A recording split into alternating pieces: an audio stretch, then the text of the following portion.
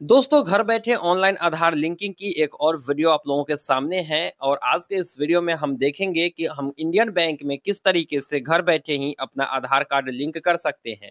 और दोस्तों, इतना ही नहीं, इस प्रोसेस को फॉलो करके आप बैंक में तो अपना आधार कार्ड लिंक कर ही सकते हैं। साथ ही साथ एनपीसीआई से भी आप डायरेक्ट बेनिफिट ट्रांसफ़र यानी डीबीटी के लिए एनपीसीआई से भी इसको लिंक कर सकते हैं। एक ही प्रोसेस में सारा काम आपका होने वाला है। तो इसलिए वीडियो को ध्यान से देखिएगा। अगर आपके पास इंडियन बैंक का अकाउंट है और आप घर बैठे बैठे ही अपना आधार कार्ड लिंक करना चाहते हैं तो और या फिर इनफिसिया से लिंक करना चाहते हैं तो। लेकिन इसके अलावा अगर आपके पास Punjab national bank, Canara bank bank of Baroda, इन सारे बैंकों के अगर आप चाहते हैं कि हम घर बैठे कैसे लिंक करें तो उसकी वीडियो मैंने पहले ही चैनल पर डाल दी है। आप वीडियो के डिस्क्रिप्शन बॉक्स या फिर आई बटन से देख सकते हो वीडियो और फॉलो कर सकते हो स्टेप्स को।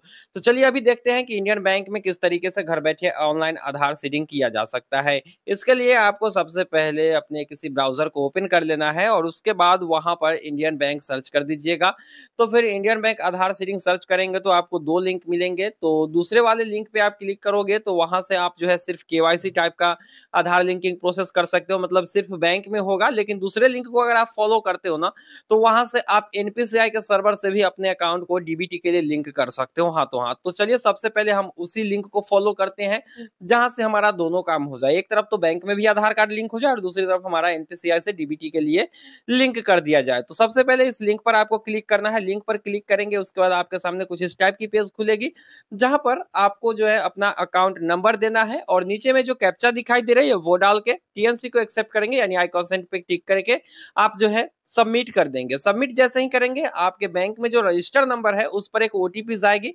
उस ओटीपी को यहाँ पर दर्ज करके फिर सबमिट कर देना है। फिर जैसे ही आप ओटीपी डाल के सबमिट करोगे, आपका सक्सेसफुली ओटीपी वेरीफाई हो जाएगा, फिर आपके सामने एक नया पेज खुलेगा जहाँ पर आपको देना है अपना आधार नंबर फिर आप अपना आधार नंबर देकर सबमिट करेंगे तो जैसे ही आप अपना आधार नंबर देकर सबमिट करेंगे UIDAI की तरफ़ से आधार रजिस्टर मोबाइल नंबर पर एक ओटीपी भेजी जाएगी। उस ओटीपी को यहाँ पर आपको डालना होगा।